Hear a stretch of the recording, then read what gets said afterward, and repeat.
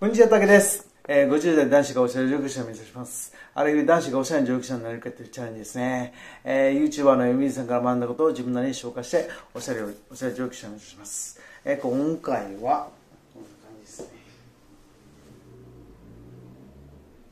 まあ、えー、いつも通り好きなパトリックですね。で、下は、えー、っと、ユナイテッド東京の、えー、スラックスですね。で、これが MB さんの T シャツですね。T シャツ。で、 MB さんの、えー、とシャツですね。で、メガネゾフですね。で、時計は、えー、セイ、セイコーですね。もう珍しくね、ユニクロ感が全くないんですけど、もう最近この時期とかになるとほぼユニクロなんですけど、ME さんのこのシャツと T シャツ買ったんで、もうこもう見たらわかるんですけど、生地感すごいんですよね。この、ツヤ感。で、結構これを、こういう折ってもね、すぐね、シワにならないんですよ、あんまり。折ってるんですけど、折ったりとかしてもシワになりにくまあ、すごい戻りやすいですけどね。で、この T シャツっすね。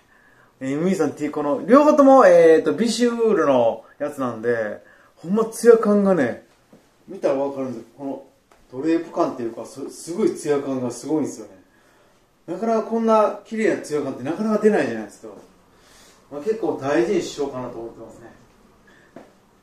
やっぱこう生地いいっすわ。まあなかなかね、ちょっとね、もう、ビシュールがなんか MB さんの話あのよると、ビシュール自体がなかなかもう手に入らなくなって、まあ、金額も高くなるし、多分できなくなるんちゃうかってなって言われ言われとったんで、もうこれ変えてよかったっすよね。これこれアーカイブで買ったんですけど、これはまあ普通に、あの、売ってる時に買ったんですけど、もう変えてよかったって感じですね。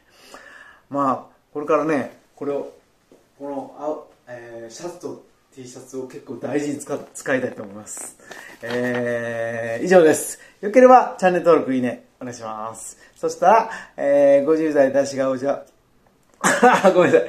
50代男子がおしゃ上級者を目指す竹でした。よければチャンネル登録、いいね、お願いします。